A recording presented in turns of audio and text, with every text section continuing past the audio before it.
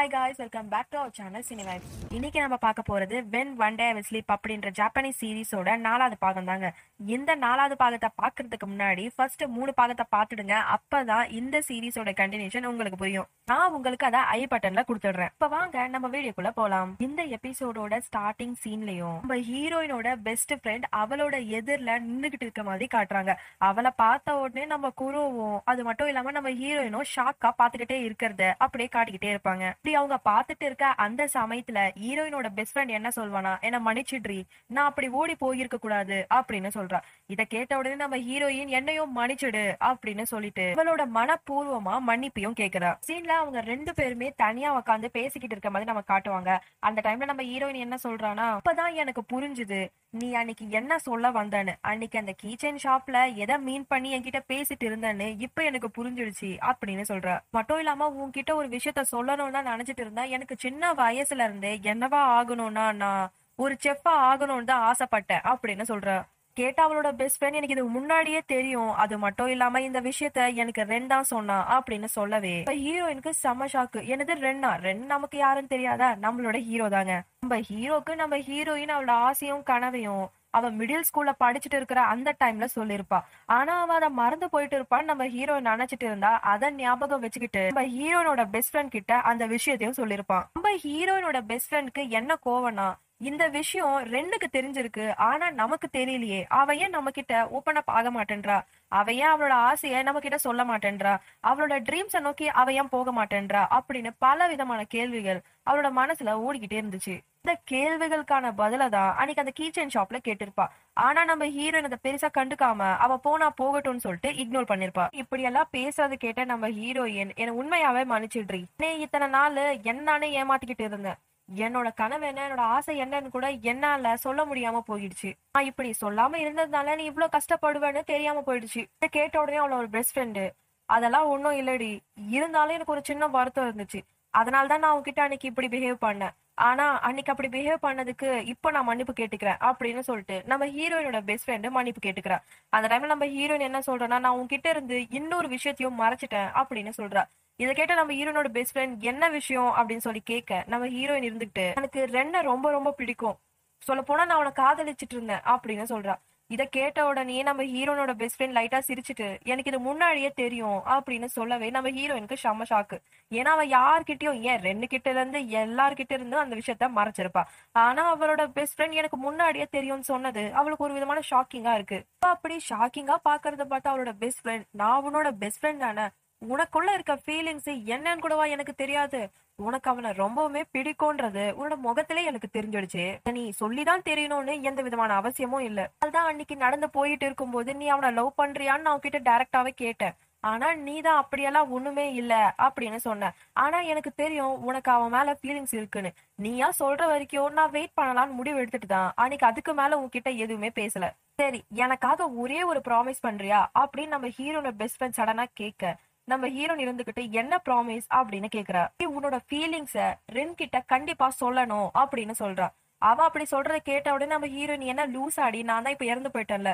இப்போ என்னோட ஃபீலிங்ஸ் சொல்லி என்ன ஆக போகுது? நான் சொல்ல விரும்பல அப்படின்னு சொல்றா. இவ இப்படி சொன்ன உடனே அவளோட பெஸ்ட் ஃப்ரெண்ட் அதெல்லாம் கிடையாது. நீ எனக்கு இதை ப்ராமிஸா பண்ணு. இது என்னோட கடைசி ஆசையா நினைச்சுக்கோ. நீ கண்டிப்பா ரென் கிட்ட அவனோட ஃபீலிங்ஸ நீ சொல்லிதான் ஆகணும் அப்படின்னு சொல்லவே. நம்ம ஹீரோயினும் சரி என்னோட பெஸ்ட்டை நான் கொடுக்குறேன் அப்படின்னு சொல்லிட்டு ப்ராமிஸ் பண்றா அவங்க ரெண்டு பேரும் பேசிக்கிட்டே நடந்து போயிட்டு இருக்க மாதிரி காட்டுவாங்க. அந்த டைம்ல நம்ம ஹீரோனோட பெஸ்ட் ஃப்ரெண்ட் அவனை கண்டிப்பா ரொம்பவுமே மிஸ் பண்ணுவேன். உன் கூட சேர்ந்தே இருக்கணும்னு நினைச்சேன். உன் கூட சேர்ந்தே வளரணும்னு நினைச்சேன். உன் கூட எப்பவுமே ஒன்னா இருக்கணும்னு நினைச்சேன். நம்ம ரெண்டு பேரும் எப்பவுமே வீட்டுக்கு ஒன்னா போகணும். நம்ம ரெண்டு பேரும் எப்பவுமே ஒன்னா சாப்பிடணும் இப்படி பல விதமான விஷயங்கள் இருந்துச்சு. அது மட்டும் இல்லாம உன்கிட்ட நிறைய விஷயங்களை பேசணும்லாம் நினைச்சேன். ஆனா கடைசியில இப்படி ஆயிடுச்சே அப்படின்னு சொல்லிட்டு ரொம்பவே ஃபீல் பண்றா. அவ அப்படி ஃபீல் பண்றதை பார்த்து நம்ம ஹீரோயின் இப்படி ஃபீல் பண்ணாத. என்ன பண்றது? இதுதான் ரூல்ஸ் அண்ட் ரெகுலேஷன்ஸ் இனிமே உன்னை பாப்பனோ பார்க்க மாட்டேனோ? கண்டிப்பா நான் போகும்போது எனக்காக நீ சிரிக்க மாட்டியா? எதுக்காக இப்படி அழுதுட்டு இருக்க? அப்படின்னு சொல்லிட்டு நம்ம ஹீரோயின் கேட்க. உடனே அவளோட பெஸ்ட் ஃப்ரெண்ட் அவளை கட்டி பிடிச்சுக்கிட்டு என்னால எப்படி அழாம இருக்க முடியும்? நீயே சொல்லு அப்படின்னு சொல்லிட்டு ஓன்னு அழ ஆரம்பிக்கிறா. அவ அப்படி அழறத பார்த்த உடனே அவளோட அழுகிய நிறுத்தணுன்றதுக்காக நம்ம ஹீரோயின் எப்படியோ மறைஞ்சு போயிட்டா. மறுபடியும் உன்னை கண்டிப்பா பார்க்க முடியாது. இப்படி அழுமுஞ்ச ஃபேஸோட என்ன சென்ட் ஆஃப் பண்ண விரும்புறியா? அக்காங்க கொஞ்சம் சிரிக்க மாட்டியா? உன்னோட சிரிச்ச முகத்தை பார்த்துக்கிட்டே நான் அப்படியே மறைஞ்சு போகிறேனே அப்படின்னு சொல்லும்போது அவளோட பெஸ்ட் ஃப்ரெண்ட் இவ சொன்ன ஒத்த வார்த்தைக்காக கஷ்டப்பட்டு அவளோட சிரிப்பை வர வைக்கிறா சிரிச்சதை பார்த்த உடனே நம்ம ஹீரோயின் சந்தோஷப்படுறா. அந்த டைம்ல ஹே நான் ஒரு விஷயத்த மறந்துட்டேன் அப்படின்னு சொல்லிட்டு ஹீரோயோட பெஸ்ட் ஃப்ரெண்ட் விட்டு போயிட்டு அந்த கீச்சனை எடுத்து காமிக்கிறார் அந்த கீச்சனை பார்த்த உடனே இது உந்துதான் அப்படின்னு சொல்லிட்டு அவகிட்டயே இருக்கிற இன்னொரு கீச்சைனா எடுத்து காமிக்கிறான். நம்ம ஹீரோயின் அப்படியே பார்த்துட்டு இருக்கும்போது நம்ம ஹீரோனோட பெஸ்ட் ஃப்ரெண்ட் என்ன சொல்றானா நான் தான் அப்பவே சொன்னல நம்ம பெஸ்ட் ஃப்ரெண்ட்ஸ் அப்படின்ற சிம்பிள்காக கண்டிப்பா இந்த கீ செயின் நம்ம வாங்கிக்கணும்னு சொன்னேன். ஆனா நீ தான் இன்னைக்கு கிண்டல் பண்ணல இந்த கீ செயினை இருந்தாலும் பரவாயில்ல இந்த கீ செயின் எனக்கு ரொம்பவுமே பிடிச்சிருக்கு. என்கிட்ட ஒன்னு இருக்கட்டும் உன்கிட்ட ஒன்னு இருக்கட்டும் அப்படின்னு சொல்லிட்டு அந்த கீ செயினை நீயே வச்சுக்கோ பத்திரமா வச்சுக்கோ அப்படின்னு சொல்றா. அதை கேட்ட உடனே நம்ம ஹீரோயின் சந்தோஷப்படுறா. அந்த டைம்ல அவங்க ரெண்டு பேருமே ஒருத்தர் கை மாத்தி ஒருத்தர் கையை பிடிச்சிட்டு இருப்பாங்க. அப்படி பிடிச்சிட்டு இருக்கும்போது ஒரு கிரீன் கலர் லைட் எரியுது. அப்படி லைட் எரிஞ்சாலே நமக்கு தெரியும்ல ஹீரோயினும் மறைஞ்சு போயிடும் சீன்ல நம்ம ஹீரோயினை குரோவோட வீட்ல பெட் மேல உக்காந்துட்டு இருக்க மாதிரி காட்டுறாங்க. அவ கண்ணெல்லாம் தண்ணியா இருக்கும். அந்த டைம்ல குரு அவளோட எதிரில உக்காந்துக்கிட்டு நீ சக்சஸ்ஃபுல்லா உன்னோட ரெண்டாவது உறவை நீ துண்டிச்சுக்கிட்ட அப்படின்னு சொல்லும்போது அவளுக்கு சிரிக்கிறதா இல்ல அழறாதானே தெரியல. அந்த டைம்ல அவ சிரிச்சுக்கிட்டே அழுதுகிட்டே அவ என்ன சொல்றானா எப்படி இருந்தாலும் எனக்கு கஷ்டம் தானே அப்படின்னு சொல்லும் போது போன வாட்டி பண்ண ஆர்ப்பாட்டத்தை விட இப்ப இப்படி பேச்சுவார்த்தையோட பேசுறியே பரவாயில்ல கொஞ்சம் நல்லா வளர்ந்துட்ட போல இருக்கு அப்படின்னு சொல்லிட்டு நம்ம குரோ சந்தோஷப்பட்டு ஹீரோயினோட தலைய கோதி விடுறான். அது மட்டும் இல்லாம நீ கடைசியா பாக்க போற அது மட்டும் மட்டும் இல்லாம துண்டிக்க போற உறவுக்கு சொந்தக்காரங்க யாருன்னா அப்படின்னு சொல்ல வரும்போதே நம்ம ஹீரோயின் இருந்துகிட்டு யார் ரென்னா? அப்படின்னு சொல்லிட்டு கேக் இப்படி சொன்ன உடனே நம்ம குரோவும் ஆமான்னு சொல்லிட்டு தலையாட்டுறான் அந்த சீனை அப்படியே கட் பண்ணிட்டு அடுத்த சீன்ல நம்ம குரோவை ஹால்ல தூங்கிட்டு இருக்கிற மாதிரி காட்டுறாங்க. நம்ம ஹீரோயினை ஏதோ ஒரு ரெஸ்டாரண்ட்ல உக்காந்துட்டு இருக்க மாதிரி காட்டுறாங்க. அந்த டைம்ல நல்ல மழையும் பெய்யுது. மறுபடியும் நம்ம குரோவை காட்டுறாங்க. அவன் எழுந்துக்கிறான். எழுந்துக்கிறது மட்டும் இல்லாம மழை பெய்யறது கவனிச்ச உடனே அவன் கொஞ்சம் பதட்டமா ஃபீல் பண்றான். அது மட்டும் இல்லாம நம்ம ஹீரோயினோட ரூம்குள்ள அவ இருக்காளா இல்லையான்னு சொல்லிட்டு பார்க்கலான்னு போனா கண்டிப்பா அப்சல்யூட்லி நம்ம ஹீரோயின் அங்க இல்ல. அத பார்த்த உடனே நம்ம குரோவுக்கு கொஞ்சம் லைட்டா பதட்டமும் இருக்கு டென்ஷனும் ஆயிடுது. அப்படியே நம்ம ஹீரோயினை காட்டுறாங்க. அவ ரெஸ்டாரண்ட்ல உக்காந்துட்டு இருக்கா. அந்த டைம்ல அவள மாதிரியே ஒரு நாலு ஸ்கூல் பசங்க அவ பக்கத்துல உக்காந்துட்டு இருக்காங்க இவதான் யாருக்கனுக்கோ தெரிய மாட்டால பேசிட்டு இருக்கிறத கேக்குறா. அது மட்டும் இல்லாம அவங்க சொல்ற சின்ன சின்ன ஜோக்ஸ் எல்லாம் கேட்டு சிரிக்க ஆரம்பிக்கிறா. அப்படி அவங்கள கவனிச்சுட்டே இருக்க அந்த சமயத்துல அவளோட தலை மண்டைக்குள்ள ஏதோ ஒரு சவுண்ட் அவளுக்கு கேட்க ஆரம்பிக்குது. அதை கேட்ட உடனே அப்படியே அவளுக்கு தலைய வெடிக்கிற மாதிரி இருக்கும். அப்படி போயிட்டு போயிட்டு வரும்போது அந்த சவுண்டு அவளோட எதிரில ரெண்டும் அவளோட பெஸ்ட் ஃப்ரெண்டும் உக்காந்து பேசிட்டு இருக்க மாதிரி இருக்கும். அவங்க என்ன பேசிக்கிறாங்கன்னா ஸ்கூல் ட்ரிப்புக்கு எல்லாமே ரெடி பண்ணியாச்சா? என்னென்ன வாங்கணும்னு பாத்துக்கிட்டாச்சா? அப்படின்னு கேட்கும்போது என்ன என்ன சொல்றான்னா அதெல்லாம் எல்லாத்தையும் வாங்கியாச்சு நம்ம போறதுதான் பாக்கி அப்படின்னு சொல்லிட்டு அவன் பாட்டு சாப்பிட்டுட்டு இருப்பான். அவன் சாப்பிடறத பார்த்த உடனே டே என்னடா மலை மாதிரி வச்சிருக்க? இது மொத்தத்தையும் பினிஷ் பண்ணிடுவியா? அப்படின்னு அவனோட பெஸ்ட் ஃப்ரெண்ட் கேட்க நான் தான் தினமும் பிராக்டிஸ் பண்ணிட்டு இருக்கேன்ல. இப்படி டெய்லி எக்ஸசைஸ் பண்ணா கண்டிப்பா நல்லா பசி எடுக்கும். அப்படி நல்லா பசி எடுத்தா நல்லா சாப்பிடணும். அப்படிதானே அப்படின்னு சொல்லிட்டு சாப்பிட்டுட்டு இருப்பான். ஹீரோயினுக்கு ஒண்ணுமே புரிய மாட்டேங்குது. இவங்க ரெண்டு பேரும் நம்ம எதிரில எப்படி உக்காந்துட்டு இருக்காங்கன்னு அது மட்டும் இல்லாம அவரோட மண்டக்குள்ள ஒரு விதமான சவுண்ட் போயிட்டே தான் இருக்கு. இந்த மாதிரி என்னோட மண்டக்குள்ள ஒரு மாதிரி சவுண்ட் கேக்குது அப்படின்னு சொல்லவே நம்ம ஹீரோயினோட பெஸ்ட் ஃப்ரெண்டும் சரி ரெண்டும் சரி நீ அதிகமா புக்ஸ் படிக்கிறல்ல அதுல இருக்க இமேஜினேஷன்ல ஏதோ கொஞ்சம் முத்திட்ட போல இருக்கு அதான் இப்படி பேசிட்டு இருக்க அப்படின்னு ரொம்பவே கேஷுவலா சொல்றாங்க. அப்படி சொல்லிட்டே இருக்கும்போது அந்த சவுண்ட் அதிகமாகிட்டே போயிட்டு இருக்கு. அந்த டைம்ல திடீர்னு குரு அவளோட எதிரில வந்து நிக்கிற மாதிரியும் பார்த்த உடனே நம்ம குரோ கிட்ட நம்ம ஹீரோயின் இருந்துகிட்டு நீ என்ன ஏமாத்தல நீ என்கிட்ட ஏதாச்சும் பொய் சொல்றியா குரோ? அப்படின்னு கேட்க நம்ம குரோ அப்படியே ஆமா அப்படின்னு சொல்லிட்டு சொல்ற மாதிரியும் ரொம்பவே பயங்கரமா அந்த சீனை காட்டியிருப்பாங்க. அப்படி ஆமான்னு சொல்லவே நம்ம ஹீரோயினை பிடிச்சு தள்ளி விட டைம்ல நம்ம ஹீரோயினை யாரோ தட்டி கூப்பிடுற மாதிரி இருக்கும். யாருன்னு திரும்பி பார்த்தா நம்ம குரோ. அப்படியே எல்லாமே நார்மல் ஆன மாதிரி காட்டுறாங்க. அவ பக்கத்துல இருக்க அந்த நாலு பசங்க எழுந்து போற மாதிரி காட்டுறாங்க. இப்ப அங்க அவளோட பெஸ்ட் ஃப்ரெண்டும் கிடையாது ரெண்டும் கிடையாது. அவளுக்கு ஒண்ணுமே புரிய மாட்டேங்குது. இந்த விஷயத்த நம்ம குரு கிட்ட சொல்றது மட்டும் இல்லாம என் மண்டக்குள்ள ஏதோ ஒரு சவுண்ட் கேட்டுக்கிட்டே இருக்கு. இது என்ன வார்னிங்கா அப்படின்னு கேட்கும்போது ஆமா இன்னும் உனக்கு மூணு நாள் மட்டும் தானே இருக்கு. இது ஒரு வார்னிங்கா கூட இருக்கலாம் அப்படின்னு சொல்லவே ஹீரோயின் ஓஹோ அப்படியா? அப்படின்னு சொல்லிட்டு கேக்குறான் இப்படி சொல்றத கேட்ட உடனே நம்ம குரோ ஹே என்ன ஓஹோ அப்படியா? இப்ப பாரு சொல்லாம போறதே உன்னோட வேலையா போச்சு. இப்ப வேற மழை பெஞ்சிட்டு இருக்கு. உன்ன மாதிரி ஆத்மாங்களுக்கெல்லாம் இந்த மழைன்றது ரொம்பவுமே ஆபத்தானது. இந்த மழையில இங்க என்ன பண்ணிட்டு இருக்க? என்னதான் உன்னோட பிரச்சனை? அப்படின்னு சொல்லிட்டு கேக்குறான். அவன் அப்படி கேட்ட உடனே நம்ம ஹீரோயின் என்ன சொல்றானா நான் என்னோட மூணாவது உறவை நானே துண்டிச்சுக்கலான்னு முடிவு பண்ணிட்டு தான் சொல்லாம கொல்லாம பாக்குறதுக்காக கிளம்புனேன். ரெண்டு எனக்கு தெரியும் அவன் எப்பவுமே மார்னிங் ட்ரைனிங்க மிஸ் பண்ண மாட்டான்னு. அதனால நான் அங்க போனேன் அப்படின்னு சொல்லும்போது ஏய் லூசா நீ எவனாச்சும் கொட்டுற மழையில ரன்னிங் பண்ணுவானா அவன் கண்டிப்பா லூசா தான் இருக்கணும் நீயும் கண்டிப்பா லூசா தான் இருப்ப அப்படின்னு சொல்லும்போது இல்ல அவன் உண்மையாவே அங்க ஓடிட்டு தான் இருந்தான் அப்படின்னு நம்ம குரோ கிட்ட சொல்றான். அது மட்டும் இல்லாம என்கிட்ட அவனால நெருங்க கூட முடியல என்னால பேச கூட முடியல அதனால தான் நான் திரும்பி இங்க வந்துட்டேன் அப்படின்னு சொல்லவே நம்ம குரோ எல்லாம் ஒன்னும் பிரச்சனை இல்ல நம்ம பாத்துக்கலாம் அப்படின்னு சொல்றான். அது மட்டும் இல்லாம இனிமே இப்படி சொல்லாம கொள்ளாம எங்கேயும் போயிடாத அப்படின்னு வான் பண்றான். என்னதான் நான் வான் பண்ணாலும் நீ கேட்க போறது இல்ல இருந்தாலும் ஒரு கைடா சொல்ல வேண்டிய கடமையை நான் சொல்லிக்கிறேன் அப்படின்னு நம்ம குரோ சொல்லவே நம்ம ஹீரோயின் உடனே நம்ம குரோ கிட்ட குரோ என்கிட்ட ஏதாச்சும் பொய் சொல்றியா? அப்படின்னு சொல்லி கேட்ட உடனே நம்ம குரோட ஃபேஸ் அப்படியே சேஞ்ச் ஆயிடுது. அப்படி சேஞ்ச் ஆகும் போது நம்ம ஹீரோயினோட ஃபேஸும் சேஞ்ச் ஆகுது. உடனே நம்ம குரோவோட ஃபேஸ சிரிப்பு வர வச்சுக்கிட்ட உடனே ஏ குரோ எது எதுல விளையாடணும்னு உனக்கு கொஞ்சம் கூட விவசாயம் இல்ல. நான் எவ்வளவு பயந்துட்டேன் தெரியுமா? அப்படின்னு சொல்றாங்க இல்ல அவங்க ரெண்டு பேரும் ஏதோ ஒரு இடத்துல நடந்து போயிட்டு இருக்கிற மாதிரி காட்டுறாங்க. அந்த டைம்ல நம்ம குரோ என்ன சொல்றான்னா மழை நிக்கிற வரைக்கும் நம்ம கண்டிப்பா இங்கேயே இருப்போம். அது மட்டும் இல்லாம இப்ப வீட்டுக்கு போறது அவ்வளவு சேஃபும் கிடையாது. அப்படின்னு சொல்லவே நம்ம ஹீரோயினும் அதுக்கு எதுக்காக நம்ம லைப்ரரிக்கு வந்திருக்கோம்? அப்படின்னு சொல்லி கேட்க உனக்கு தான் புக்ஸ் படிக்கிறது ரொம்பவுமே பிடிக்கும்ல. அதனால கூட்டிட்டு வந்தேன். அப்படின்னு சொன்ன உடனே குரோவுக்கு நம்ம ஹீரோ ஹீரோயின் தேங்க்ஸ் சொல்ல. நீ தேங்க்ஸ் எல்லாம் சொல்ல வேண்டிய அவசியம் இல்ல. வா போலாம் அப்படின்னு சொல்லிட்டு லைப்ரரிக்குள்ள போயிட்டு இருக்காங்க. அந்த டைம்ல அவளுக்கு ஃபேவரட்டான சான்ஸ் அப்படின்ற புக்கை பாக்குறா அந்த புக்கை பார்த்த உடனே அதை எடுத்து படிக்க ஆரம்பிக்கிறா. அது மட்டும் இல்லாம ஒரு சின்ன பிளாஷ்பேக்கும் கொண்டு போறாங்க. அந்த பிளாஷ்பேக்ல நம்ம ஹீரோயின் அதே புக்கை படிச்சுட்டு இருக்க மாதிரியும் நம்ம ஹீரோ வந்து அந்த புக்கை படிச்சுட்டு எனக்கு கடனா குடிக்கிறியா? நானும் படிச்சு தரேன் அப்படின்னு சொல்லி கேட்டதையும் அவளுக்கு எல்லாமே ஞாபகம் வருது. அது நம்ம குரு கிட்டயும் சொல்லிருப்பா நம்ம குரு இருந்துகிட்டு இந்த புக்கை எதுக்காக நீ அவன்கிட்ட கொடுக்கவே இல்ல அப்படின்னு சொல்லி கேட்க நான் ஏன் கொடுக்கலனா இது மொத்தமே ஒன் சைட் லவ் பத்தினது. அது நான் படிக்கிறேன்னு தெரிஞ்ச உடனே அவனும் கேட்டான் இதை நான் மட்டும் கொடுத்துருந்தேன்னா அவன் படிச்சுட்டு என்னோட ஃபீலிங்ஸ கண்டுபிடிச்சிட்டா? அதனால தான் நான் கொடுக்கல அப்படின்னு சொல்றா. மட்டும் இல்லாம கண்டிப்பா அவன் இந்நேரத்துக்கு மறந்தே போயிட்டு இருப்பான் இந்த மாதிரி ஒரு புக் இருக்கும்னு அந்த புக்கை நான் கொடுக்குறேன்னு சொன்னது எல்லாமே மறந்து போயிட்டு இருப்பான் அப்படின்னு இவ சொல்லவே நம்ம குரு அடடடடா இந்த மனுஷங்க ஏன் இவ்ளோ காம்ப்ளிகேட்டடா இருக்காங்க? லவ்ன்றாங்க கல்யாணம்ன்றாங்க ஒரு மண்ணாங்கட்டி எனக்கு புரிய மாட்டேங்குது. மனுஷங்க நிறைய யோசிப்பாங்களோ?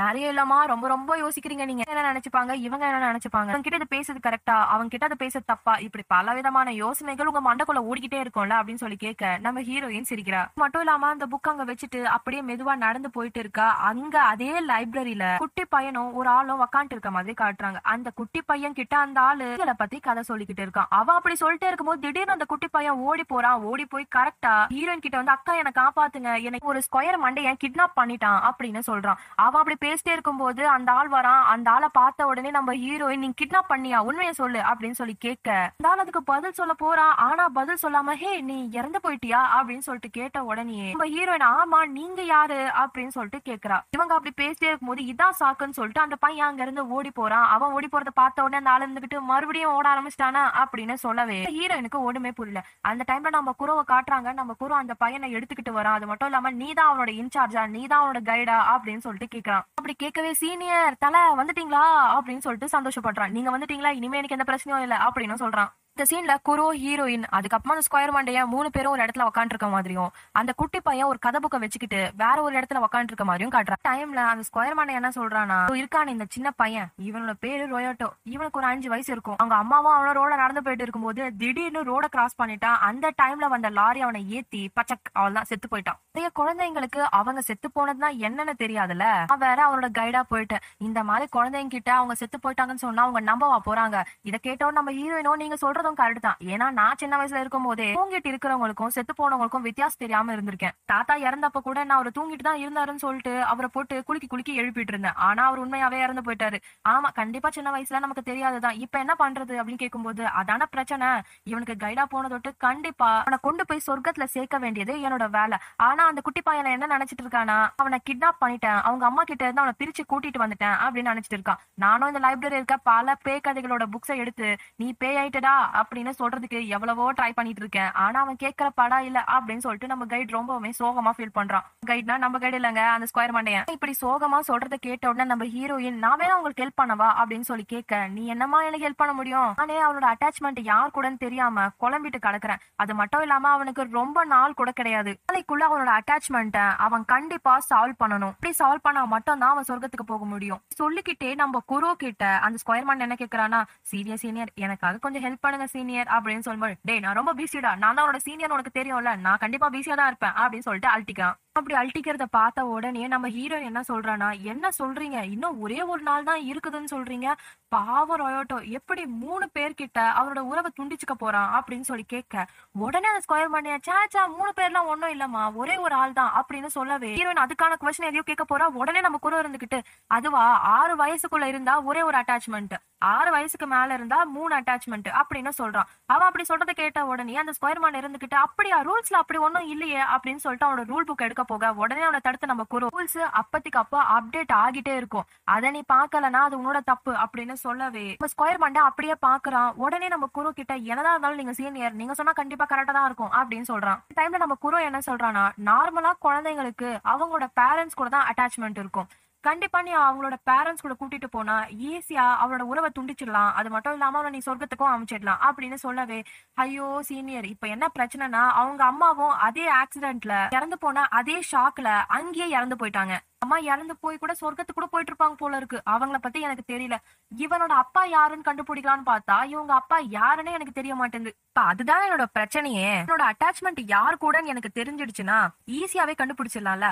இப்ப வேற மழை பெஞ்சிட்டு இருக்கு. கண்டிப்பா இன்னைக்கு போக முடியாது. நாளைக்கு போய் தான் கண்டுபிடிக்கணும். என்ன பண்ண போறனோ தெரியல. அப்படின்னு அந்த ஸ்கொயர் மாட்டையும் புலம்புறான். இப்படி புலம்புறத கேட்ட உடனே நம்ம ஹீரோயின் நான் வேணும்னா உங்களுக்கு ஹெல்ப் பண்ணவா? அப்படின்னு கேட்க உடனே நம்ம குரு இருந்துகிட்டு உனக்கு இருக்கிறதே மூணு நாள். நீ எப்படி உன்னோட அட்டாச்மெண்ட்டை துண்டிச்சுக்கணும்னு யோசிப்பியா? இல்லைன்னா இவனுக்கு ஹெல்ப் பண்ணுவியா? அப்படின்னு சொல்லி கேட்க ரோயட்டோ ரொம்பவுமே சின்ன பையன். எப்படி அவனுக்கு நாளைக்கு ஒரே ஒரு நாள் தானே இருக்குது. ஒன்னும் பிரச்சனை இல்ல. மீதி எனக்கு ரெண்டு நாள் இருக்குது அப்படின்னு நம்ம குரு கிட்ட ரோயோ கிட்ட பேசுறதுக்கு போறா. அந்த டைம்ல ரோயோட்டோ கிட்ட அவ என்ன சொல்றானா உனக்கு அனிமல்ஸ்னா ரொம்ப பிடிக்குமா? அனிமல் புக் படிச்சுட்டு இருக்கியே? அப்படின்னு கேட்கும்போது அந்த குட்டி பையன் ஆமா அக்கா எனக்கு அனிமல்ஸ்னா ரொம்ப ரொம்ப பிடிக்கும். நானு பெரிசானா டாக்டரா ஆகணும்னு இருக்கிறேன். அப்படின்னு சொல்லவே நம்ம ஹீரோனோட ஃபேஸ் மாறிடுது. அந்த டைம்ல ஃபேஸ் மாறினதை பார்த்த உடனே அந்த குட்டி பையன் இருந்துகிட்டு என்னக்கா என்னால ஆக முடியாதா? அப்படின்னு ரொம்பவுமே சோகமா கேட்க அப்படி சோகமா கேட்ட உடனே நம்ம ஹீரோயின் அவளோட ஃபேஸ டக்குன்னு ஸ்மைலிங் ஃபேஸா மாத்திக்கிட்டு கண்டிப்பா உன்னால ஆக முடியும். ஏன் உன்னால ஆக முடியாது? அப்படின்னு சொல்றா. அது மட்டும் இல்லாம என் பேரு ஹொட்டாரோ? அப்படின்னு சொல்லிட்டு அவள அவளை இன்ட்ரோ பண்ணிக்கிறா. அவ அப்படி சொன்ன உடனே ஹொட்டாரோவா? ஹொட்டாரோனா ஏர்பிளைன்னு கேள்விப்பட்டேன். அப்போ உங்ககிட்ட இருந்து வெளிச்சம் வருமா? அப்படின்னு அந்த பையன் ரொம்பவே இன்னோசென்டா பேசுறான். கரெக்டான சான்ஸ் நம்ம ஹீரோனும் ஆமா கண்டிப்பா வெளிச்சம் வரும். ஆனா அது ரொம்பவுமே சீக்ரெட் அப்படின்னு சொல்லவே அந்த பையன் ரொம்பவுமே எக்ஸைட் ஆயிடுறான். அத பார்த்து நம்ம குரு ஏய் என்னத்த பண்ணடி விரும்புற? அப்படின்னு சொல்லிட்டு ஹீரோயின் கிட்ட கேட்க அதை கவனிக்காம நம்ம ஹீரோயின் என்ன சொல்றானா உனக்கு கூட அந்த மாதிரி ஷைனிங்கா ஆகணும்னு ஆசையா? அப்படின்னு கேட்க நம்ம ரோயோட்டோ ஆமா அக்கா எனக்கும் ரொம்ப ஆசையா இருக்கு அப்படின்னு சொல்றான். அப்படி சொல்றத கேட்ட உடனே அந்த ஸ்கொயர் மண்டன் கிட்ட நம்ம ஹீரோயின் என்ன சொல்றானா அவனோட அட்டாச்மெண்ட்டை துண்டிக்கணும். அது அவன் இறந்துட்டான்னு சொல்லி துண்டிக்கணும்னு எந்த விதமான அவசியமும் இல்லல அவன் இறந்தது அவனுக்கு தெரியாமையே கூட துண்டிச்சுக்கலாம்ல. அப்பவும் அவன் சொர்க்கத்துக்கு போக முடியுமா அப்படின்னு கேட்கும்போது அவன் உறவு மட்டும் துண்டிச்சுக்கிட்டா போதும். அவன் கண்டிப்பா சொர்க்கத்துக்கு போக முடியும். அவன் செத்துட்டான்னு அவனுக்கு அதை தெரியணும்னு கூட அவசியம் இல்ல அப்படின்னு அந்த ஸ்கொயர் மாண்டியன் சொன்ன உடனே ஹீரோயின் ரொயோட்டோ கிட்ட நம்ம ஒரு அட்வென்ச்சர் பண்ண போறோம் தெரியுமா? அதுல நான் இருக்க போறேன் நீ இருக்க போற. அப்புறம் அந்த ஸ்கொயர் மாண்டியன் அவன் இருக்க போறான். அதுக்கப்புறமா பிளாக் கலர் ட்ரெஸ்ல மொத்தமா ட்ரெஸ் பண்ணிருக்காரு. இந்த ஆள் கூட இருக்க போறாரு அப்படின்னு சொன்ன அந்த பையன் ரொம்ப எக்ஸைட் ஆயிட்டு அப்படியா எப்ப போக போறோம்? அப்படின்னு சொல்லி கேட்க ஹீரோயின் நாளைக்கா போக போறோம். ரெடி ஆயிரு அப்படின்னு சொல்ற சீன்ல குரோவோட வீட்ல அந்த பையன் படுத்து தூங்கிட்டு இருக்க மாதிரி காட்டுறாங்க. டைம்ல குரோ அதுக்கப்புறமா நம்ம ஹீரோயினா அந்த ஸ்கொயர் மாண்டியும் வெளியே உக்காந்துக்கிட்டு வெதர் ரிப்போர்ட்டை டிவில பாத்துட்டு இருக்காங்க. அந்த ரிப்போர்ட்ல என்ன சொல்றாங்கன்னா இன்னைக்கு எந்த விதமான மழையும் இருக்காது. கண்டிப்பா வெயிலா தான் இருக்கும். எந்த விதமான பிரச்சனையும் பெருசா இருக்காது அப்படின்னு பார்த்த உடனே அவங்க சந்தோஷப்படுறாங்க.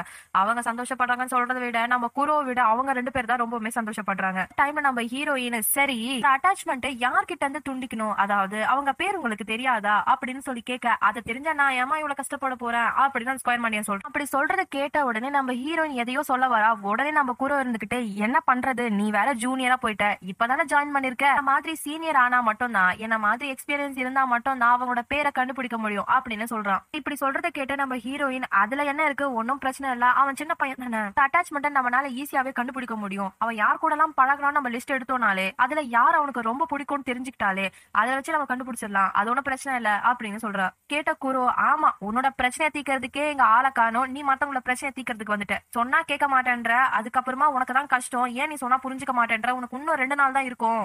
அட்டாச்மெண்ட்டை நீ துண்டிச்சுக்கலனா அப்புறம் நீங்க பேயா சுத்த வேண்டியது இருக்கும் அதையும் நான் முன்னாடியே சொல்லிட்டேன் அப்படின்னு சொல்லும். ஹீரோயின் கண்டிப்பா நான் ரொயோட்டாக்கு ஹெல்ப் பண்ண போறேன். அது மட்டும் இல்லாம நீ சும்மா சும்மா எனக்கு ரிமைண்ட் பண்ணிட்டே இருக்காத எனக்கு தெரியும் அப்படின்னு சொல்லிடுறா. இந்த சீன்ல நாலு பேருமே ரோட்ல நடந்து போயிட்டு இருக்க மாதிரி காட்டுறாங்க. அவங்க நாலு பேருமே இப்ப எங்க போக போறாங்கன்னா நம்ம ரொயோட்டோட கிண்டர் கார்டன் ஸ்கூல்ல பாக்குறதுக்காக போக போறாங்க. நம்ம ஹீரோயினும் ரொயோட்டோவும் முன்னாடி நடந்துட்டு இருக்காங்க. நம்ம ஸ்கொயர் மண்டையனும் அது மட்டும் இல்லாம நம்ம குரோவும் பின்னாடி நடந்துட்டு இருக்காங்க.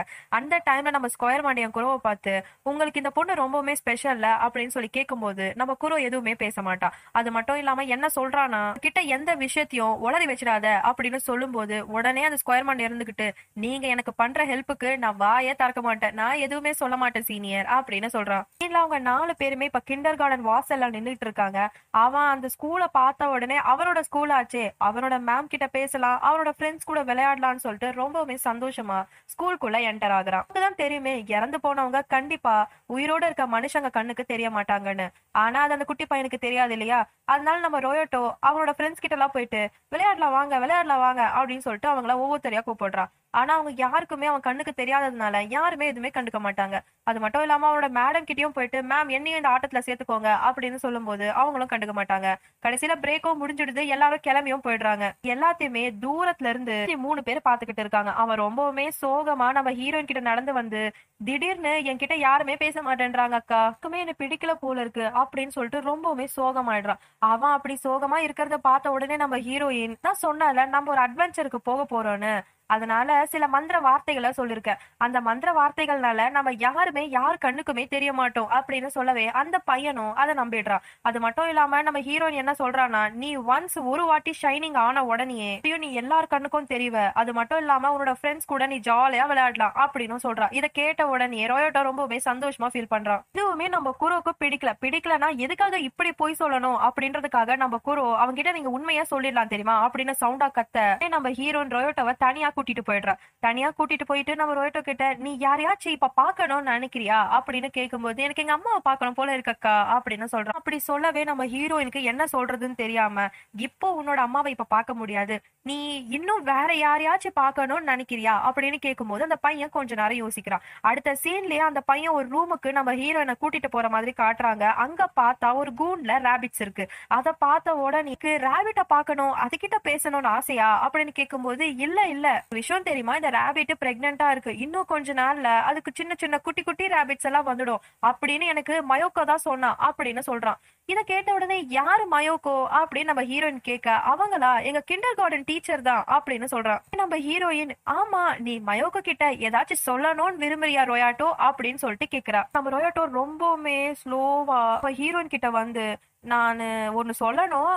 ஆனா அது நீங்க அந்த ஸ்கொயர் மணி கிட்ட கூட சொல்லக்கூடாது. அப்பதான் நான் சொல்லுவேன். அப்படின்னு சொல்றான். அப்படி சொல்லவே நம்ம ஹீரோயின் நான் யார்கிட்டயும் எதையும் சொல்ல மாட்டேன். என்கிட்ட நீ தைரியமா சொல்லலாம். உங்க மிஸ் கிட்ட நீ என்ன சொல்லணும்னு விரும்புற? அப்படின்னு சொல்லவே நம்ம ரோயோட்டோ நம்ம ஹீரோயோட காது கிட்ட போய் எதையோ ஒண்ணு சொல்றான். ஆனா அதை நமக்கு காட்ட மாட்டாங்க. சீன்ல அவங்க ரெண்டு பேருமே ஸ்கூலை விட்டு வெளில வராங்க. டைம்ல நம்ம ஸ்கொயர் மண்டி இருந்துகிட்டு ஏதாச்சும் க்ளூ கிடைச்சதா? அப்படின்னு சொல்லி கேட்க அவங்க மேம் மயோக்காவை நம்ம பார்க்க போலாமா? அப்படின்னு சொல்லி கேட்ட உடனே உன்னோட ஃபேஸ் ஒரு மாதிரி சேஞ்ச் ஆயிடுது.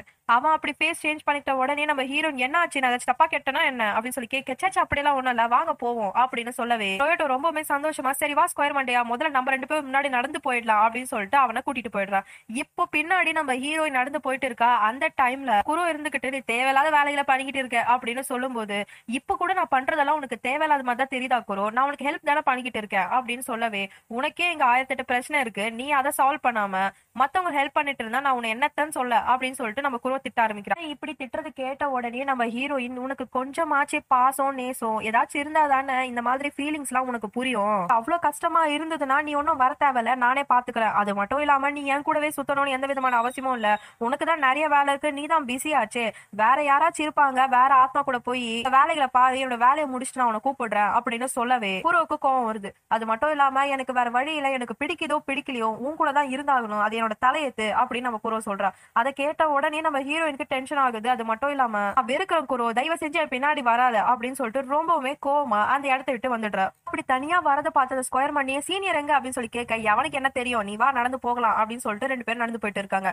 அப்படி நடந்து போயிட்டு இருக்கும்போது ரோயோட்டோ முன்னாடி நடந்து போயிட்டு இருக்கா? இவங்க ரெண்டு பேருமே பின்னாடி நடந்து போயிட்டு இருக்காங்க. அந்த டைம்ல ஸ்கொயர் மண்டைய நம்ம ஹீரோயின் கிட்ட ரோயோட்டோட சாவுக்கு மேயோக்கா கூட ஒரு காரணம் தான் அப்படின்னு சொல்லவே இவளுக்கு ஒரே ஷாக்கு நீ என்ன சொன்ன? ஏதோ லாரி மோதி தானே இறந்து போயிட்டான்னு சொன்ன. இதுல எப்படி அவங்க மேம் காரணமாவாங்க அப்படின்னு சொல்லிட்டு கேட்க சில அவனும் அவங்க அம்மாவும் எதிர்பக்கமா நடந்து போயிட்டு இருக்காங்க. அந்த டைம்ல தான் எதிரில் அவங்களோட மேம பாத்துட்டு அவங்கள கூப்பிடவே அவங்களுக்கு காது கேட்காம போனதொட்டு இவன் அவங்கள பிடிக்கிறதுக்காக ஓடி போகும்போது தான் இப்படி ஒரு ஆக்சிடென்ட் நடந்துச்சு. பாவம் அதை அவன் மறந்துட்டான் போல இருக்கு அப்படின்னு சொல்றான். கேட்ட ஹீரோயின் ரொம்பவுமே ஃபீல் பண்றா. அது மட்டும் இல்லாம அவன் செத்து போனான்ற விஷயத்த இப்ப அவன் தெரிஞ்சுக்க போறானா? அப்படின்னு சொல்லி கேட்கும்போது தெரியலையே. ஒருவேளை அந்த மேம் அவனோட அட்டாச்மெண்ட் இல்லனா அவனுக்கு அவன் செத்து போயிட்டான்னு தெரியாது. ஒருவேளை அந்த மேமோட கண்ணுக்கு நம்மளோட ரொயோட்டோ தெரிஞ்சா கண்டிப்பா அவங்க கூட தான் அவனோட உறவை அவன் துண்டிக்க வேண்டியது வரும். அது மூலியமா தான் அவன் சொர்க்கத்துக்கு போக வேண்டியது வரும் அப்படின்னு பேசிட்டே இருக்கும்போது ரொயோட்டோ அவங்க மேம ரோட்ல பாத்துடுறான் அவங்க இடத்துல பிளவர் புக்கே வச்சுட்டு ரொம்பவுமே சோகமா உக்காந்துட்டு இருக்காங்க அந்த டைம்ல நம்ம ரொயோட்டோ மேம் அப்படின்னு சொல்லிட்டு அவங்கள போய் கட்டி பிடிக்க அவங்கனால நம்ம ரொயோட்டோவை பார்க்க முடியுது. அப்படின்னா என்ன அர்த்தம்? மேம் கூட தான் அவனோட உறவை அவன் துண்டிச்சுக்க போறான்னு நமக்கு தெரிய வருது. இத ஹீரோயினும் சரி மண்டையனும் சரி பாக்குறாங்க. மேம் ரொயோட்டோட பார்த்த உடனே ரொம்பவுமே ஷாக்கிங்கா ஃபீல் பண்றாங்க. அந்த டைம்ல அவன் கிட்ட எதையோ ஒண்ணு சொல்றாங்க. அத கேட்டுக்கிட்டு ரொம்பவுமே சோகமா ரோயட்டோ அங்க இருந்து நடந்து வரான். இந்த வந்தவன் நம்ம ஹீரோயின் கிட்டே எதையும் பேச மாட்டான் அந்த ஸ்கொயர் மாண்டியன் கிட்டே எதையும் பேச மாட்டான் ரொம்பவுமே சைலண்டா நடந்து போறான். சீன்ல அவங்க எல்லாருமே ஒரு பார்க்ல இருக்கிற மாதிரி காட்டுறாங்க. அந்த டைம்ல இப்ப ரொயோட்டோ ஹீரோயின் கிட்ட நான் இறந்து போயிட்டேனா? அப்படின்னு சொல்லிட்டு கேக்குறான். அப்படி கேட்ட உடனே தான் அவங்க ரெண்டு பேருக்குமே புரியுது. அவங்க மேம் எல்லாமே சொல்லிட்டு இருக்காங்கன்னு சொல்லிட்டு. நம்ம ஹீரோயின் மன்னிப்பு கேக்குறா? அது மட்டும் இல்லாம இப்படி ஏமாத்தி கூட்டிட்டு வந்ததுக்கு என்ன மன்னிச்சுக்கோன்னு மறுபடியும் சொல்றா. கேட்ட ரொயோட்டோ அப்போ நம்ம ஏதோ அட்வென்ச்சர் போக போறோம். ஏதோ மந்திரம் போட்டு இருக்கேன்னு சொன்னீங்க. அதனால தான் யார் கண்ணுக்கும் நம்ம தெரிய மாட்டோம்னு சொன்னீங்க. இது எல்லாமே பொய்யா? அப்படின்னு சொல்லி கேட்கும்போது ஹீரோயினுக்கு ஒரு மாதிரி கஷ்டமாயிடும்.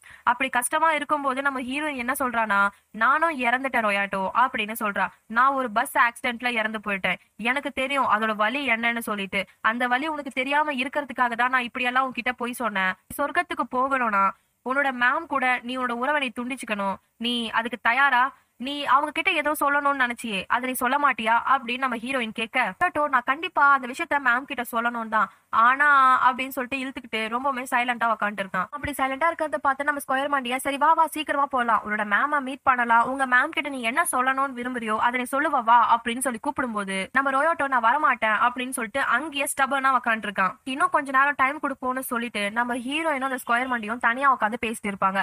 அந்த டைம்ல ஸ்கொயர் மண்டை என்ன சொல்றான்னா இன்னும் கொஞ்சம் நேரம் தான் அவனுக்கு இருக்குது. சூரியன் அஸ்தமிக்கிறதுக்குள்ள இவன் அந்த விஷயத்த பண்ணி முடிக்கலனா அப்புறம் உலகத்துல அவன் பேயதான் சுத்திக்கிட்டு இருக்க நிலமா வந்துடுமோன்னு எனக்கு ரொம்பவுமே பயமா இருக்கு. அவன் வேற ரொம்பவுமே சின்ன பையனா இருக்கான் அப்படின்னு சொல்லிட்டு நம்ம ஸ்கொயர் மண்டையன் சொல்றான். உலகத்துல பேயா சுத்துறது ரொம்பவுமே கஷ்டம்னு டோக்கோ மூலியமா நம்ம ஹீரோயின் தெரிஞ்சுட்டு இருப்பா. அந்த நிலைமை இப்ப ரொயோட்டோக்கு வரக்கூடாதுன்னு சொல்லிட்டு நான் வேணும்னா இன்னொரு வாட்டி ட்ரை பண்ணவா? எனக்காக ஒரே ஒரு சான்ஸ் கொடுங்க அப்படின்னு சொல்லி கேட்க ஸ்கொயர் மண்டேனோ சரி நீ அவனை சமாதானப்படுத்த ட்ரை பண்ணு. அவனை அந்த மேடமோட மீட் பண்ண வைக்கிறதுக்கு எல்லா ஏற்பாட்டையும் பண்ணு. அவங்க இப்ப எங்க இருக்காங்கன்னு நான் கண்டுகிட்டு வரேன் அப்படின்னு சொல்லிட்டு அந்த இடத்த விட்டு கிளம்பி போறான். ஹீரோயின் மறுபடியும் ரொயோட்டோ பக்கத்துல உக்காந்துக்கிட்டு ஒரு விஷயம் தெரியுமா?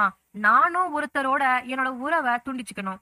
அவங்கள எனக்கு ரொம்ப ரொம்ப ரொம்ப பிடிக்கும். எப்படி உனக்கு நான் சொல்லுவேன்னா உங்க மேம் உனக்கு எப்படி பிடிக்குமோ அந்த மாதிரிதான் எனக்கும் அவங்கள ரொம்பவே பிடிக்கும் அப்படின்னு சொல்லவே. ரொயோட்டோ அப்படியே பாக்குறான் அந்த டைம்ல நம்ம ஹீரோயின் என்ன சொல்றான்னா நான் கண்டிப்பா அவங்க கூட என்னோட உறவை துண்டிச்சுப்பேன். அதுவும் என்னோட பெஸ்ட்டை நான் கொடுப்பேன். நீயும் ஏன் உன்னோட பெஸ்ட்டை கொடுக்க கூடாது ஏன் நம்ம ரெண்டு பேரும் சேர்ந்தே நம்மளோட உறவுகளை துண்டிச்சுக்க கூடாது அப்படின்னு சொல்லிட்டு கேட்க ரொயோட்டோ அப்படியே பாக்குறான். அது மட்டும் இல்லாம அப்போ ஷைனிங்கா மாறுவனா அக்கா? அப்படின்னு சொல்லிட்டு கேக்குறான். அவன் அப்படி கேட்கவே கண்டிப்பா நீ ரொம்பவுமே ஷைனிங்கா மாற போற. அது மட்டும் இல்லாம ரொம்பவுமே அழகா மாற போற. உலகத்தை விட்டு போய் சொர்க்கத்துல போய் சேர போற அப்படின்னு சொல்லவே இப்ப ரொயோட்டோவும் மனசு மாறி சரி நான் என்னோட மேம மீட் பண்றதுக்கு ஒத்துக்கிறேன் அப்படின்னு சொல்லிட்டு சந்தோஷமா சொல்றான். இப்படி இருக்க ஸ்கொயர் மண்டேனை காட்டுறாங்க.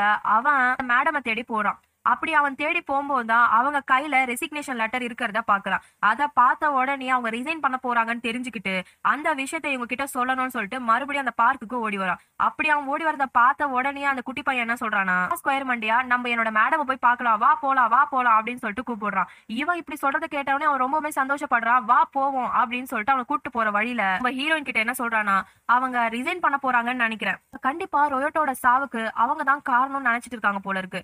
அந்த கில்ட்டினஸ்னால தான் அவங்க இந்த ஸ்கூல்ல இருந்து ரிசைன் பண்ண போறாங்கன்னு நினைக்கிறேன் அப்படின்னு பேசிக்கிட்டே போயிட்டு இருக்காங்க. இந்த சீன்ல ரேபிட் இருக்கிற ரூம்ல அந்த மேம காட்டுறாங்க. இப்படி கேட்ட உடனே அவனோட மேடம் கண்டிப்பா உன்னோட பேரை வைக்க அந்த ரேபிட்ஸ பாத்துட்டு இருப்பாங்க. ஏன்னா அந்த ரேபிட் குட்டி போட்டு இருக்கும் அதை பார்த்துட்டே இருக்கும்போது கரெக்டா நம்ம ரோயோட்டோ அவங்க மேம் கிட்ட போனா அது மட்டும் இல்லாம அந்த ரேபிட்ஸ் எல்லாமே குட்டி போட்டுடுச்சா? அப்படின்னு நம்ம மேம பார்த்து கேட்க அவங்களும் ஆமான்னு சொல்லிட்டு கண்ணில் தண்ணியோடய தலையாடுறாங்க டைம்ல நம்ம ரோயோட்டோ என்ன சொல்றானா கூட பெரியவன் ஆகி வெட்டினரி டாக்டர் படிக்கணும்னு நினைச்சேன். ஆனா அப்படின்னு சொல்லிட்டு ரொம்பவுமே சைலண்ட் ஆயிடுவான். அப்படி சைலண்டா இருக்கிறத பார்த்த உடனே இந்த ஸ்கொயர் மண்டையன் அவனுக்கு வேற டைம் பாட்டு போயிட்டே இருக்கு. இவன் இப்படி சைலண்டா இருந்தா எப்படி அப்படின்னு சொல்லிட்டு அவன் கிட்ட பேச போகும்போது இப்ப ஹீரோயின் தடுத்து நிறுத்திடுறா. அவனுக்கான டைம் அவனுக்கு கூட அவன் கண்டிப்பா பேசுவான் அப்படின்னு சொல்லவே சரின்னு சொல்லிட்டு அங்கேயே நின்றுடுறான் டைம்ல கரெக்டா ரொயோட்டோ நம்ம ஹீரோயினை பார்த்து திரும்பி சொல்லவா அப்படின்னு சொல்லிட்டு கண்ணாலேயே கேட்க நம்ம ஹீரோயினோ கண்டிப்பா நீ சொல்லுவ நீ கண்டிப்பா சொல்லு அப்படின்னு சொல்லிட்டு கண்ணாலேயே சொல்றா.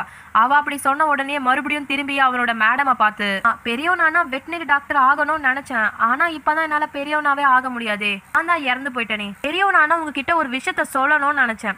அது என்னன்னா உங்களை எனக்கு ரொம்பவுமே பிடிக்கும். இதை நீங்க கல்யாணம் பண்ணிக்கிறீங்களா? அப்படின்னு கேக்குறான். அப்படி கேட்ட உடனே ஸ்கொயர் மண்டனுக்கு செம்ம ஷாக்கு அட பாவி ப்ரொப்போஸே பண்ணிட்டியா? அப்படின்னு சொல்லிட்டு அப்படியே பார்த்துட்டு இருக்கும்போது அந்த மேடமை காட்டுறாங்க. அவங்க கண்ணில் தண்ணியோட தேங்க்யூன்னு சொல்றாங்க. அப்படி சொன்ன உடனே நம்ம ரொயோட்டோ எப்படியோ நான் இங்க இருந்து போயிட போறேன் இல்லையா? என்னோட ஞாபகார்த்தமா பிறந்த இந்த குட்டி ரேபிட்டுக்கு என்னோட பேரை நீங்க வைக்கிறீங்களா? கேட்ட உடனே அவனோட மேடம் கண்டிப்பா உன்னோட பேரை வைக்கிறேன் அப்படின்னு சொல்லவே நம்ம ரொயோட்டோ ரொம்பவுமே சந்தோஷப்படுறான் அது மட்டும் இல்லாம அவரோட மேடம் கிட்ட நீங்க ஸ்கூலை விட்டு எங்கேயுமே போக கூடாது. இந்த ரேபிட்டை நீங்க ரொம்பவுமே பத்திரமா பாத்துக்கோங்க. உங்களை நம்பிதான் இந்த ரேபிட்டை உங்ககிட்ட நான் விட்டுட்டு போறேன் அப்படின்னு சொன்ன உடனே அவனோட மேடமும் மனசை மாத்திக்கிறாங்க. அது மட்டும் இல்லாம நான் இந்த ஸ்கூலை விட்டு எங்கேயுமே போக மாட்டேன்டா கண்ணா அப்படின்னு சொல்றாங்க. அப்படி சொல்றது கேட்ட உடனே ரொயோட்டோ ரொம்ப சந்தோஷப்படுறான் அது மட்டும் இல்லாம அவங்கள கிஸ் பண்றான் அப்படி அவன் கிஸ் பண்ணும்போது அவன் அப்படியே ஷைன் ஆகுறான் அப்படி ஷைன் ஆயிட்டே இருக்கிற அந்த சமயத்துல டக்குன்னு மாயமாவும் மறைஞ்சு போ நினைச்சு நம்ம ஹீரோயினும் சரி நம்ம ஸ்கொயர் மண்டையனும் சரி ரொம்பவுமே சந்தோஷப்படுறாங்க. எவ்வளவு சூப்பரா ப்ரொபோஸ் பண்ணால அப்படி நம்ம ஹீரோயின் கேட்க அவனும் ஆமான்னு சொல்றான் அது மட்டும் இல்லாம இப்ப அவன் எல்லாமே மறந்துட்டு இருப்பாள். இப்ப அவன் சொர்க்கத்துக்கு போன தொட்டு அவன் கண்டிப்பா எல்லாத்தையும் மறந்துட்டு இருப்பாள் அப்படின்னு சொல்லும்போது என்ன பண்றது? இதுதான் எங்களோட ரூல்ஸ் வழியாதான் அவனால நடக்க முடியும். அது மட்டும் இல்லாம அவனுக்கு ரொம்ப ரொம்ப நன்றிமான்னு சொல்லிட்டு அவனோட தேங்க்ஸ சொல்றான். என்னோட சீனியருக்கும் என்னோட நன்றி தெரிவிச்சுடு. நான் இப்ப கிளம்ப வேண்டிய நேரம் வந்தாச்சு அப்படின்னு சொல்லிட்டு அவன் அந்த இடத்த விட்டு கிளம்ப ஹீரோயினும் சரின்னு சொல்லிட்டு அந்த இடத்த விட்டு கிளம்ப போறா. அந்த டைம்ல மேம் அந்த குட்டி ரேபிட்ட பார்த்து ரோயோட்டோன்னு சொல்றாங்க. அதை பார்த்து ரொம்பவே சந்தோஷப்பட்டு அந்த இடத்த விட்டு கிளம்பி போயிடா அடுத்த சீன்ல நம்ம ஹீரோயினை குரோவோட வீட்டுல உக்காந்துட்டு இருக்கிற மாதிரி காட்டுறாங்க. டைம்ல நம்ம குரோ வரான். வந்தது மட்டும் இல்லாம அந்த பையன் சொர்க்கத்துக்கு போயிட்டானா அப்படின்னு சொல்லி கேட்க நம்ம ஹீரோயினும் ஆமா அவன் சக்சஸ்ஃபுல்லா சொர்க்கத்துக்கு போயிட்டான் அப்படின்னு சொல்றா. மட்டும் இல்லாம எழுந்து நின்னு நம்ம குரோ கிட்ட மன்னிப்பையும் கேட்கிறா. ஏன் இப்படி திடீர்னு மன்னிப்பு கேட்கற அப்படின்னு நம்மள குரோ கேட்க உனக்கு ரொம்பவுமே கஷ்டத்தை கொடுத்துட்டேன் குரோ. ஆக்சுவலா சொல்ல போனா ரென்ன பாக்குறதுக்கோ இல்ல அவன்கிட்ட பேசுறதுக்கான சக்தி எனக்கு சுத்தமா கிடையாது. அவனோட கண்ணை பார்த்து பேசுவேனான்னு கூட எனக்கு தெரியல. அதுல இருந்து தப்பிக்கணும்ன்றதுக்காக தான் உன்கிட்ட இருந்தும் அந்த உண்மை கிட்ட இருந்தும் ஓடி ஓடி ஒளிஞ்சிட்டு இருக்கு. பெஸ்ட் ஃப்ரெண்ட் கிட்ட நான் ப்ராமிஸ் பண்ணேன் ரெண்டா பார்த்த உடனே என்னோட ஃபீலிங்ஸ் அவன் மேல என்ன இருக்குன்னு கண்டிப்பா சொல்றேன்னு ப்ராமிஸ் பண்ணேன். ஆனா என்னால சொல்ல முடியல. ஆனா இந்த வாட்டி நான் ரொயோட்டோக்கு ப்ராமிஸ் பண்ணேன். கண்டிப்பா என்னோட பெஸ்ட்டை கொடுப்பேன்னு இந்த வாட்டி கண்டிப்பா என்னோட பெஸ்ட்டை கொடுக்கலான்னு இருக்கேன் அப்படின்னு சொல்லவே குரு இப்பதான் எனக்கு கொஞ்சம் நிம்மதியா இருக்கு அப்படின்னு சொல்றான். அது மட்டும் இல்லாம அங்க இருந்து கிளம்பவும் போறான். அவன் அப்படி கிளம்புறத பார்த்த உடனே நம்ம ஹீரோயின் ஏன் இப்படி என்ன தனியா விட்டு கிளம்ப போற அப்படின்னு சொல்லி கேட்க இப்ப நீ ரொம்பவுமே தெளிவா இருக்க. கண்டிப்பா உன்னால தனியா போயிட்டு உன்னோட உறவை துண்டிச்சுக்க முடியும்.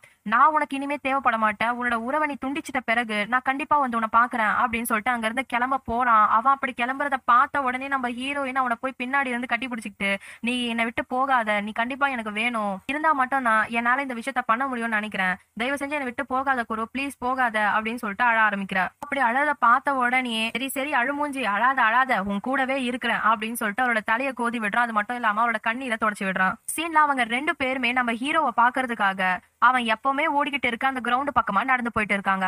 அப்படி அவங்க நடந்து போகும்போது எதுவுமே பேச மாட்டாங்க. ஒன்ஸ் அங்க ரீச் ஆன பிறகு நம்ம குரோ என்ன சொல்றேன்னா கண்டிப்பா உன்னால உறவை சக்சஸ்ஃபுல்லா துண்டிச்சுக்க முடியும். நீ துண்டிச்ச பிறகு வந்து நான் உன்னை பாக்குறேன் இப்ப நீ தைரியமா போ அப்படின்னு சொல்லிட்டு தைரியம் சொல்றான். அவ அப்படி சொல்லவே நம்ம ஹீரோயினும் சரின்னு சொல்லிட்டு கிளம்புறேன் அப்படின்னு நம்ம குரோ கிட்ட சொல்லிட்டு அவ அப்படி நடந்து போயிட்டு இருக்கும்போது கிரவுண்ட் பக்கமா எப்பவுமே கிரவுண்ட்லயே பிராக்டிஸ் பண்ணிட்டு இருக்க நம்ம ஹீரோ கிரவுண்ட் பக்கமா ஒரு இடத்துல நின்னுகிட்டு இருக்கான். அப்படி நின்னுகிட்டு இருக்கத பார்த்த உடனே பின்னாடி இருந்தே நம்ம ஹீரோவை ஹீரோயின் கூப்பிடுறா.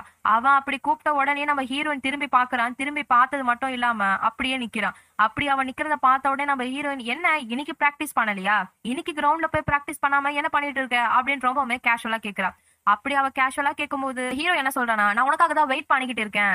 இவ்வளவு நேரமே நான் உனக்காக தான் வெயிட் பண்ணிட்டு இருந்தேன். அப்படின்னு சொல்றான். இந்த மாதிரி ஒரு பதில் கண்டிப்பா நம்ம ஹீரோயின் அவன் கிட்ட இருந்து எக்ஸ்பெக்ட் பண்ணவே இல்ல. இப்படி ஒரு பதில சொன்ன உடனே அவ அப்படியே ஷாக்கிங்கா பாக்குறா. அப்படியே இந்த எபிசோடியும் முடிக்கிறாங்க. ஹீரோயின் சக்சஸ்ஃபுல்லா நம்ம ஹீரோ கூட அவரோட உறவை துண்டிச்சுக்கிறாளா? நம்ம கூட ஏதாச்சும் மறைக்கிறானா? அப்படி அவன் என்ன மறைக்கிறான்? மட்டும் இல்லாம நம்ம ஹீரோயின் சக்சஸ்ஃபுல்லா சொர்க்கத்துக்கு போயிட போறாளா? இதெல்லாம் தெரிஞ்சுக்கணும்னா ஃபைனல் எபிசோட்காக வெயிட் பண்ணுங்க. உங்களுக்கு நம்ம வீடியோ பிடிச்சிருந்தா கண்டிப்பா லைக் பண்ணுங்க ஷேர் பண்ணுங்க கமெண்ட் பண்ணுங்க. அண்ட் மறக்காம நம்ம சேனலையும் சப்ஸ்கிரைப் பண்ணிக்கோங்க. அப்பதான் நான் போடுற லேட்டஸ்ட் வீடியோஸோட நோட்டிபிகேஷன் உங்களுக்கு வந்து அடுத்த வீடியோல உங்களை நான் ரொம்பவே சீக்கிரமா சந்தி